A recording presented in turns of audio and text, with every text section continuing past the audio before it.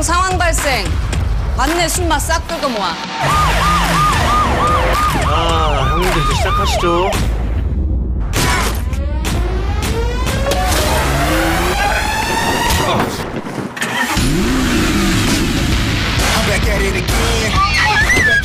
너도 해봐 이창현 운전대장 보면 눈 뒤집히는 거 그거 병이라니까? 부장님 우리 상식으로 이해할 수 있는 사람이 아니에요 홍지철 씨.